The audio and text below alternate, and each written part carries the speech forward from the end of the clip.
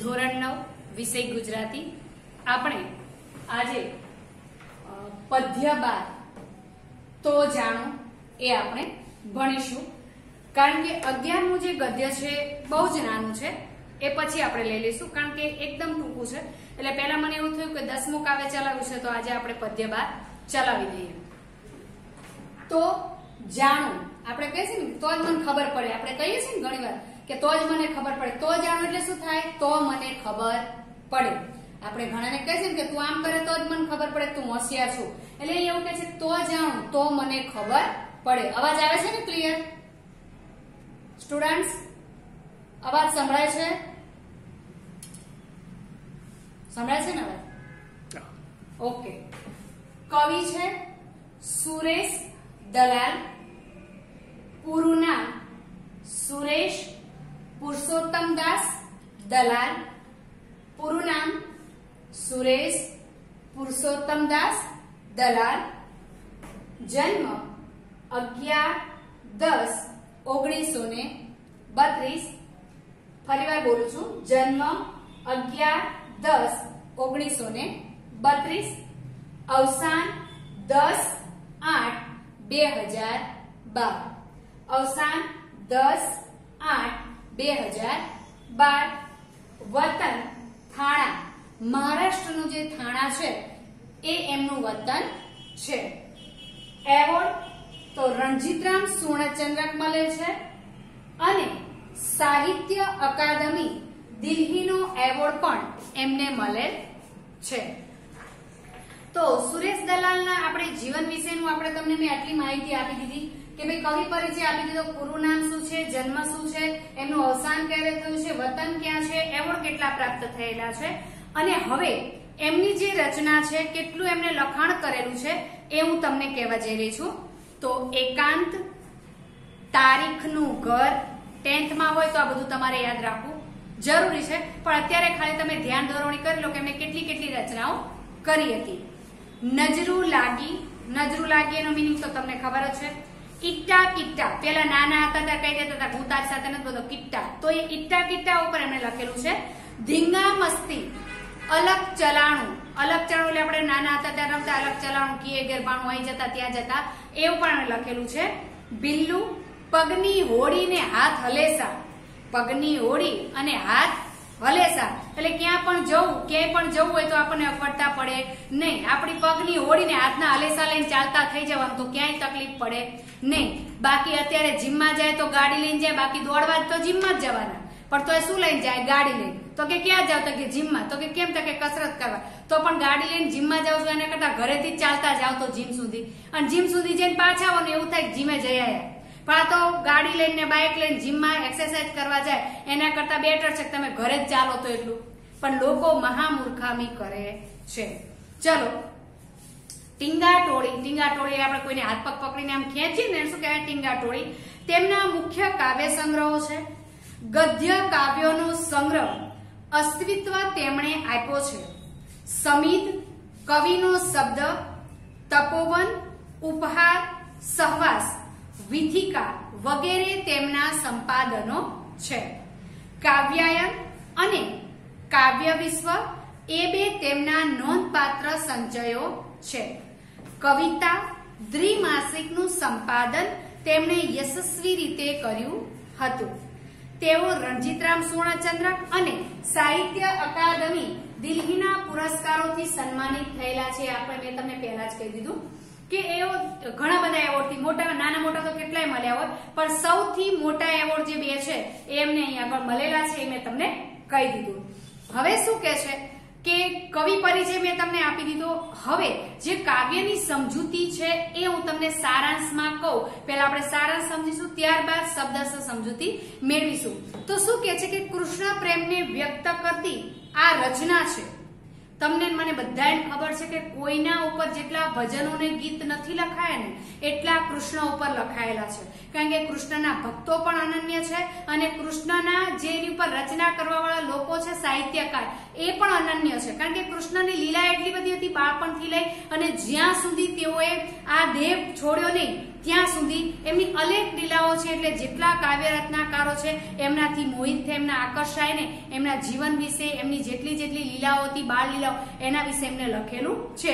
એટલે તમને કોઈ પણ દેવી દેવતાઓ પર નથી જેટલી મળતી ને એટલી રચનાઓ તમારે ભણવામાં, તમે નાનપણથી લઈને અત્યાર સુધીમાં તમે જોયું છે કે કૃષ્ણને લગતી જીવન લીલા કે એને જે જીવનકાળ દરમિયાન જેટલા જેટલા કાર્યો કર્યા છે, એને લગતી તમારે કવિતા અને કાવ્ય આવે છે. આપણે જોઈએ છીએ કે રાસમાં જુઓ, ગરબામાં જુઓ, ભજનમાં જુઓ, કોઈ પણમાં જુઓ, તો તમને કૃષ્ણનું જે સાહિત્ય છે વધારે જોવા મળે છે. એટલે કે છે, આમાં પણ એમને કૃષ્ણ પ્રેમને વ્યક્ત કરતું જ ગીત રચેલું છે. આનો સાહિત્ય પ્રકાર છે ઉર્મી ગીત. ઓકે? હું તો હું જાણું. આ કાવ્યનો પ્રકાર છે ઉર્મી ગીત. પોતાની ઉર્મિઓ કાવ્ય દ્વારા વ્યક્ત કરે છે. માટે આ ઉર્મી ગીત છે. ગોપી કૃષ્ણને પડકાર આપતા કહે છે કે તમે મારી ગાગર ઉતારો તો હું માનું કે તમે પહાડને ઉચક્યો હતો. પડકાર મીન્સ કે ચેલેન્જ શું આવે? પડકાર મીન્સ કે ચેલેન્જ શું કે છે કે એમને ચેલેન્જ આપે છે? શું કે છે કે તમે મારી ગાગર ઉતારો ને તો હું માનું કે તમે પહાડને ઉચક્યો હતો. ગાગર એટલે નાનો ઘોડો. ગાગર એટલે શું? નાનો ઘડો. એટલે શું કે છે કે તમે મારી માથા ઉપરની ગાગર ઉતારો ને તો હું જાણું કે તમે ગોવર્ધન પર્વતને ઉચક્યો હતો. આપણે કોઈ પણ એમ કે ના, કોઈ એમ કે હું સો મીટર દોડમાં પહેલો નંબર લાવ્યો, તોય આપણે એમ કે ના, હું ના માનું. તું મારી સાથે અહીંથી તે છે પાંચ કિલોમીટર અહીંથી શું પાંચ ડગલા તું મારી સ્પીડમાં દોડી જા? એક સેકન્ડમાં. તો હું માનું કે તું સો મીટરની દોડમાં પહેલો નંબર લાવ્યો છે. કોઈ પણ વાત હોય તો આપણે માનવી તો આપણે એમ કે ના, તું આમ કર ને તો જ હું માનું. એટલે આ શું કહે છે કે તમે મારી ગાગર ઉતારો તો હું જાણું. હવે શું કે છે કે ગાગર ઉતારવાના બહાને કૃષ્ણ ઘેલી ગોપી કૃષ્ણનું નૈકિત્ય જંખે છે. જંખવું એટલે ઈચ્છા રાખે છે. ગાગર ઉતારવાના બહાને ગોપી, એવું થાય છે ગોપીને કે ગાગર ઉતારશે તો કૃષ્ણ મારી સમીપ આવશે, મારી નજીક આવશે. નૈકટ્ય એટલે સમીપતા, નજદીકતા. નૈકટ્ય એટલે શું થાય? સમીપતા, નજદીકતા. એટલે કે ગાગર ઉતારશે તો કૃષ્ણ મારી પાસે આવશે. એટલે ગાગર ઉતારવાનું બહાનું ગોપી બતાવે છે કે કૃષ્ણ એ બહાને એમની પાસે આવે. ગાગર ઉતારે તે પતિ એવો લોક જીવનનો સંદર્ભ પણ જોઈ શકાય. પહેલા એવું હતું કે પહેલા એમ કહેતા હેલ. હેલ એટલે માથે મૂકેલું જે બેડું હોય ને, એને હેલ કહેવામાં આવતી. એટલે કે લોક જીવન મુજબ પહેલા એવું હતું કે જે માથાની હેલ ઉતારે ને બેડું માથાનું જે ઉતારે ને, એને પતિ તરીકે સ્વીકારવામાં આવતો હતો. તો આ એક પણ બાનું હતું કે તમે મારી ગાગર ઉતારો, તો હું જાણું, ગાગર ઉતારે એટલે કૃષ્ણ એમના પતિ તરીકે થઈ જાય. આવી એક લોકવાયકા પણ હતી. લોકો દ્વારા આવી વાતો થયેલી હતી કે માથાનું બેડું મૂકેલું જે ઉતારે, એ એનો પતિ કહેવાય. આવું કહેવામાં આવતું હતું. એવું આપણને કવિ કહે છે.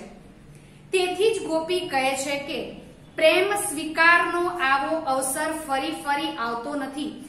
તેથી ગોપી કહે છે કે પ્રેમ સ્વીકારવાનો અવસર આવો વારંવાર આવતો નથી એવું આપણને કાવ્યમાં કહી દે છે કે પ્રેમ સ્વીકારનો અવસર એક જ વાર આવે છે એવું આપણને ગોપી કહે છે. આજે આ અમૂલક અવસરને એળે ના જવા દેશો. ગોપી કૃષ્ણને શું કે છે? અમૂલક. અમૂલક એટલે શું? કે જેનું મૂલ્ય આંકી શકાય નહીં તેવું. અમૂલક એટલે શું? જેનું મૂલ્ય આંકી શકાય નહીં તેવું. એટલે કે આવો અમૂલક અવસર છે, એ તમે જવા દેશો નહીં, એવું ગોપી કૃષ્ણને કહે છે.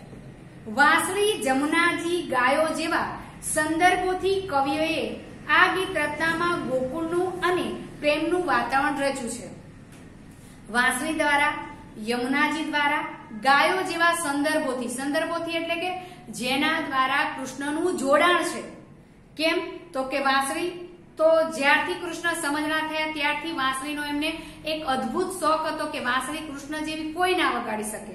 જો વાસરી કૃષ્ણ વગાડતા હોય, તો આખું ગોકુળ વૃંદાવન અને સચરાચર પ્રકૃતિમાં જેટલા જીવજંતુઓ છે, એ બધા કૃષ્ણની વાંસળીથી આકર્ષાય. અને કૃષ્ણ જ્યાં પગ ઉપર પગ ચડાવીને ઝાડ નીચે બેઠા બેઠા વાંસળી વગાડતા હોય, તો જેટલા પ્રકૃતિના જીવો છે, એ તમામ ત્યાં એકત્રિત થઈ જતા હતા. એટલી મોહિની હતી.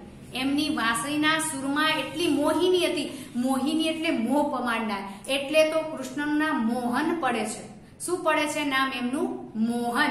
એટલે એમની વાંસળીમાં એટલી તાકાત હતી. તો કે વાંસળી દ્વારા અને યમુનાજી દ્વારા. જમુનાજી દ્વારા પણ આપણને એમનો ઉલ્લેખ કરાવે છે. કેમ? તો વાંસળી સાથે કૃષ્ણનો નાતો સંબંધ નાનપણથી છે. જમુનાજી સાથે પણ એમનો સંબંધ નાનપણથી છે. જ્યારથી મથુરામાં જન્મ્યા અને વાસુદેવ એમને ટોપલામાં મૂકી અને યમુનાજી પાર કરીને લાવે છે, ત્યારથી એમનો સંબંધ યમુના સાથે છે. કારણ? કે વાસુદેવ જ્યારે એમને ટોપલા ઉપર મૂકી અને યમુનાજીની નદી પાર કરવા જાય છે, પણ યમુનાજીને ભગવાન કૃષ્ણ ચરણ પખાડવા હોય છે, ચરણ ધોવા હોય છે.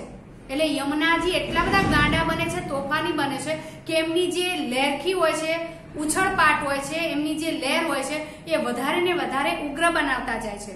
એટલે કૃષ્ણ ભગવાન એવું કે છે, વિષ્ણુ સ્વરૂપમાં આવીને કે યમુનાજી, તમે શાંત થાઓ. જો આવું કરશો તો વાસુદેવજી મારા પિતા જે છે, એ મને ક્યારેય ગોકુળમાં મૂકવા જઈ શકશે નહીં. અને પ્રકૃતિના નિયમ અનુસાર તમારે મને મદદ કરવી જ પડશે. ત્યારે યમુનાજી કહે છે, એક જ શરતે હું તમને મદદ કરું અને તો જ હું મારા પાણી શાંત કરું. કેમ? તો યમુનાજીએ કીધું કે, એક મારી શરત તમે માનો. મારી વિનંતી કહો તો વિનંતી ને શરત કહો તો શરત. એટલે કૃષ્ણ ભગવાન કહે છે કે, શું આ સંવાદ વાસુદેવને સંભળાતો નથી? એટલે કૃષ્ણ ભગવાનને એવું કહે છે કે તમારા ચરણ મારા પાણીમાં લાંબા કરો અને તમારા ચરણને હું ધોવા માંગુ છું. કારણ કે મારામાં શ્યામતા વધાર છે. તમને ખબર છે કે આપણે એક ગીત છે કે રાધાજી તો ગોરી ગોરી યમના કારી કારી. અળની બદલે ર વાપરે છે.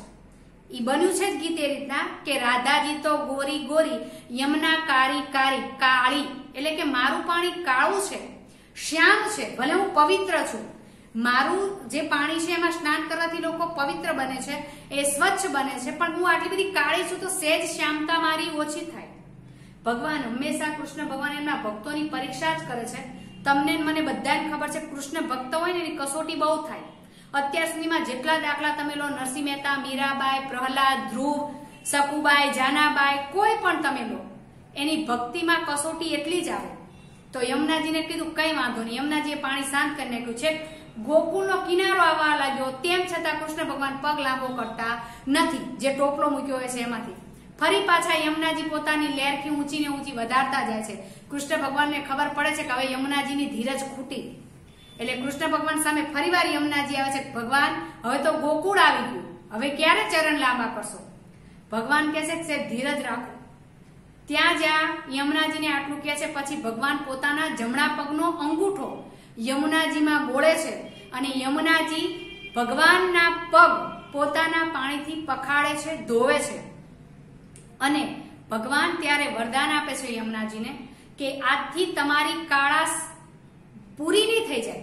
સાવ તમારી કાળાસ જતી નહીં રહે. તમારું પાણી શ્યામ તો રહેશે, પણ તમારું પાણી હતું એનાથી વધારે પવિત્ર બનશે અને જે લોકો તમારા જળમાં સ્નાન કરશે પરમ પાવનકારી થઈ જશે. એના સર્વ પાપોનું નિવારણ થઈ જશે. એટલે જ્યાંથી ભગવાન મથુરાથી ગોકુળ આવે છે ને, ત્યારથી યમુનાજી સાથે એમનો સંબંધ છે.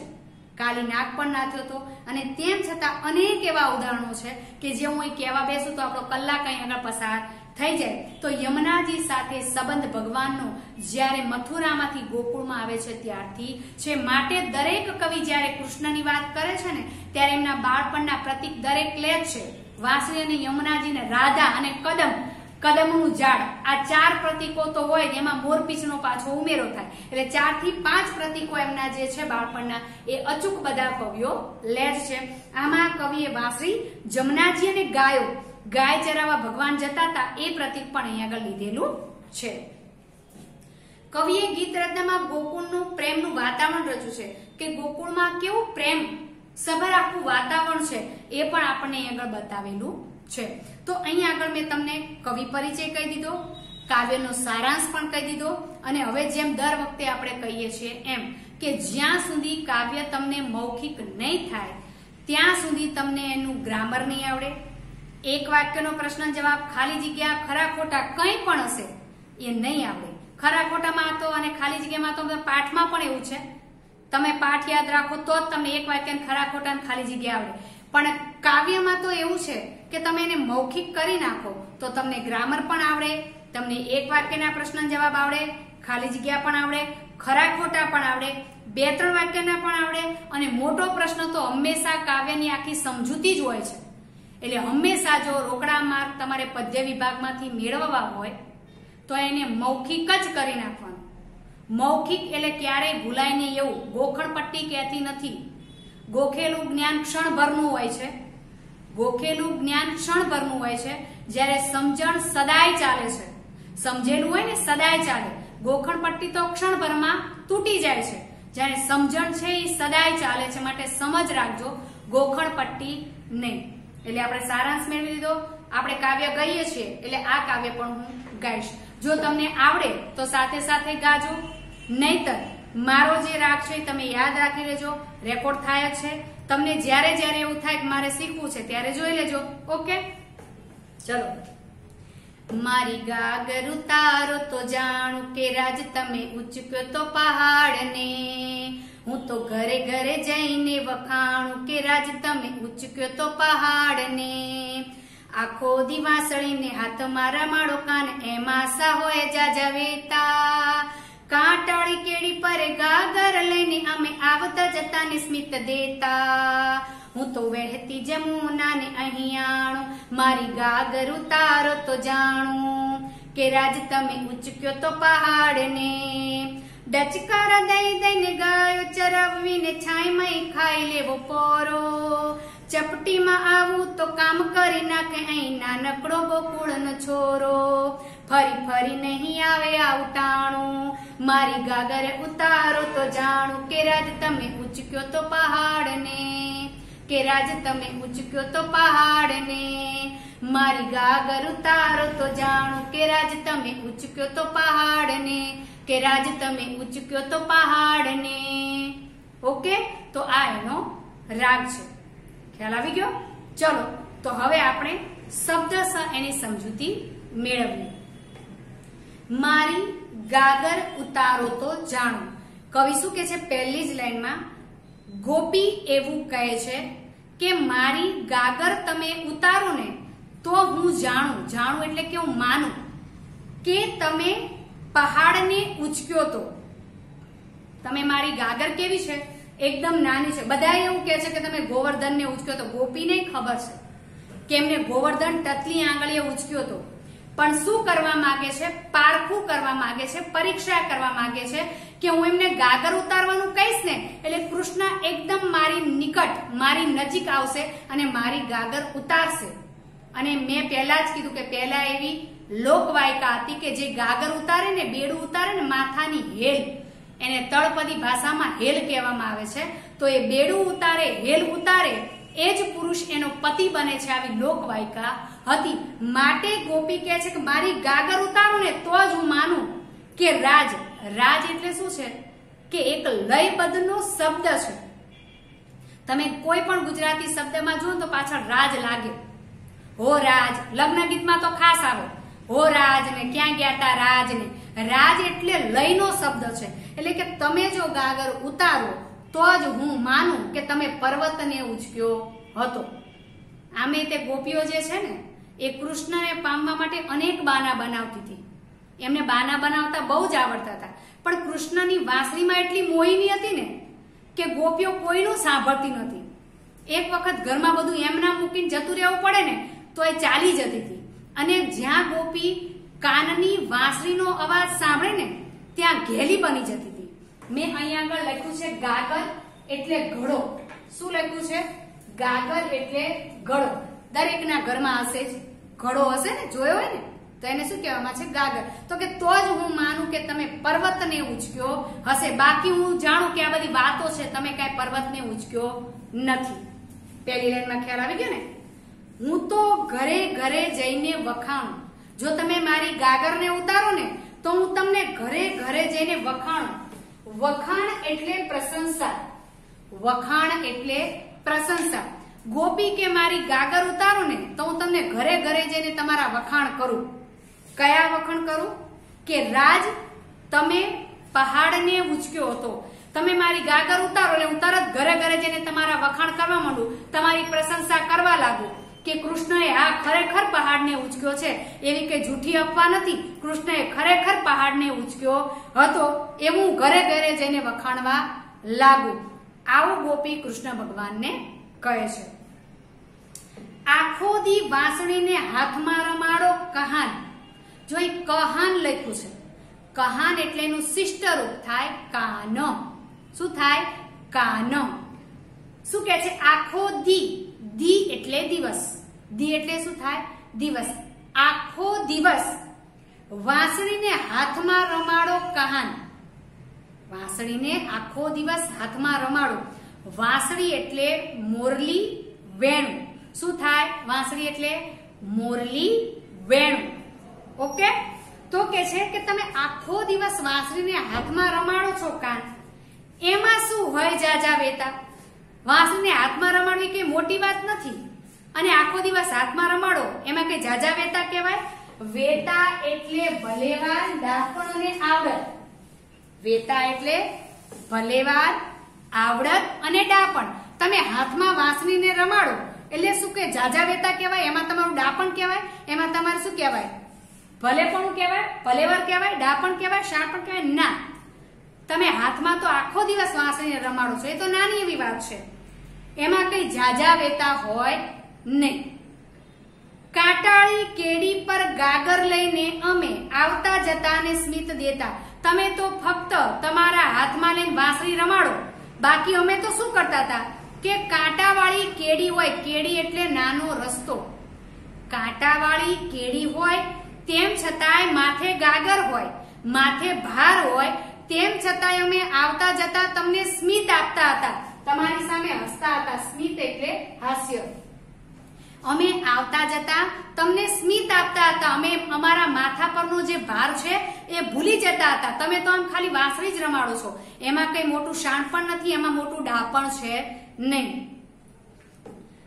હવે આમાં એક વાંસળીની વાત છે ને એક આ ગોપીની વાત છે ને એટલે મને એક વાત યાદ આવે છે. કે વાંસળી જ્યારે કૃષ્ણ ભગવાનના હાથમાં હોય છે ને, ત્યારે એકવાર રાધા પ્રશ્ન કરે છે. આ એમ કે છે ને કે હાથમાં તમે વાંસળીને રમાડો, એમાં જાજા શું વેતા. બરોબર ને? તો વાંસળી જે ભગવાનના હાથમાં છે ને, નાની એવી વાત નથી, ગોપી ભલે કહેતી, એ તો એની ઈર્ષા ભાવમાં કે છે કે આ તો નાની વાત છે, મારી ગાગર ઉતારો તો જાઉં, એવું કે છે. પણ જ્યારે એકવાર કૃષ્ણના હાથમાં વાંસળી હોય છે ને, ત્યારે રાધાજી નારાજ થઈ જાય છે. અને વાંસળી લઈ અને એક બાજુ જતા રહે છે. પછી વાંસળીને શું કહે છે? કે મને તારી બહુ જ ઈર્ષા થાય છે. રાધાજી શું કે છે? વાંસળી કે મને તારી ખૂબ ઈર્ષા થાય છે. આ દુનિયામાં મને કોઈની ઈર્ષા નથી થતી, પણ મને તારી જ ઈર્ષા થાય છે. વાંસળી કહે છે કે કેમ? તો રાધા કહે છે કે આખા જગતમાં હું કૃષ્ણની પ્રિય છું, હું વાલી છું. પણ તેમ છતાં હું જ્યારે મારા પિતાજીના ઘરે જતી રહું છું ને, ત્યારે હું કૃષ્ણથી અળગી થઈ જાઉં છું. પણ તું એના કમરકસ ઉપર રહે છે, એના અધરો ઉપર રહે છે. મને માટે તારી ઈર્ષા થાય છે. કમરકસ એટલે શું? ભગવાન પિતાંબર પહેરતા હતા ને, તો પિતાંબર જ્યાં પેટ ઉપર ગાંઠ વાળેલી હોય ને, ત્યાં અહીંયા આગળ કમરકસમાં ભગવાન વાસરીને રાખતા હતા. અને જ્યારે એમને મન થાય, મન પ્રફુલ્લિત હોય, વૃંદાવન કે ગોકુળની ગલીઓમાં જઈને વાંસળી વગાડતા ને, ત્યારે એને અધર અધર એટલે કે હોઠ એને હોઠ ઉપર ધારણ કરતા. એટલે રાધા કે છે કે મને જો કોઈની ઈર્ષા થતી હોય ને તો તારી જ થાય છે. કે એક તો તું કૃષ્ણના કમરકસ ઉપર રહે છે અને એક તો પાછા એમના અધરો ઉપર, હોઠ ઉપર સ્થાન મેળવેલું છે. તારા જેવું સુખ તો કોઈ બીજું કોઈ પ્રાપ્ત નથી કરતું. માટે મને અત્યંત તારા ઉપર ઈર્ષા થાય છે કે ઈર્ષા હું વ્યક્ત કરી શકું એમ નથી. મને એમ થાય છે કે તને હું અત્યારે તોડી નાખું. તને આગળ ભાંગી નાખું ને કૃષ્ણથી અળગી કરી નાખું. પણ હું એમ નથી કરી શકતી. કેમ? કારણ કે મારો કૃષ્ણ જે છે ને તારા વગર રહી શકતો નથી. તારાથી અળગો થાય છે, તો એ શું થાય છે કે એનું મન ભાંગી જાય છે, ઉદાસ રહેવા લાગે છે. અને તું જ એની આહલાદકતાનું કારણ છે, એના આનંદનું કારણ છે, માટે હું તને તોડતી નથી. પણ તે આટલું બધું સ્થાન કેમ મેળવી લીધું છે મારા કૃષ્ણ આગળ? મને એની કઈ ખબર પડતી નથી. ત્યારે વાંસળી શું કે છે? સાંભળ, તારે સાંભળવું હોય તો કે મેં આટલું પદ કેમ પામ્યું છે? ત્યારે વાંસળી કહે છે કે, રાધા, સાંભળ. એના માટે થઈને આખા શરીરે વિંધાવું પડે છે. અને એ પણ મૂંગા રહીને. ગમે એટલો આપણને કષ્ટ થાય, ગમે એટલી વેદના થાય ને, તો એનો ઓંકાર નથી નીકળતો. કેમ? કારણ કે મારે મારા કૃષ્ણની પ્રિય બનવું હતું ને, એટલે આખા શરીરે હું વિંધાયેલી છું. તું જોઈજો કે આખા શરીરે છિદ્રો છે. તો હું વિંધાય છું આખા શરીરે. માટે મારા કૃષ્ણની હું વાલી છું. અને તું જો કે મારામાં કંઈ પણ સમાયેલું નથી, કંઈ પણ સંગ્રહિત નથી, હું બધાને જતું કરું છું, મારા સુર હું રેલાવી દઉં છું, તું જોઈને હું આખી પોલી જ છું, ક્યાંય અટકાણ નથી. હું કૃષ્ણે મારામાં સુખ વહેતું કર્યું હોય ને, તો પણ હું એને વેડાવી દઉં છું, અને દુઃખ જો વેડાવ્યું હોય સુર રૂપે, તો એને પણ વેડાવી દઉં છું. માટે યાદ રાખ કે જે સુખ અને દુઃખનો સંગ્રહ નથી કરતું ને એ જ ભગવાનના હૃદયમાં એના કમર કસમાન એના અધરો ઉપર સ્થાન પામે છે. આટલું યાદ રાખજો. શું વાસણીએ કીધું? બહુ સરસ વાક્ય કીધું કે હું આખી પોલી છું. હું ક્યાંય સંગ્રહ નથી કરી રાખતી. માટે હોય ને વેડાવી તો કાંઈ પણ સંગ્રહ નથી કરતી. અને જે સુખ, દુઃખ, મોહ, માયા આ બધાનો ત્યાગ કરે છે ને, એ જ ભગવાનને પ્રિય હોય છે. રાધાની આંખમાંથી આંસુ સરી પડે છે. શું કહે છે કે ખરેખર હું તને સમજી શકી નહીં? હવે મને સમજાય છે કે તું કૃષ્ણની આટલી પ્રિય કેમ છે?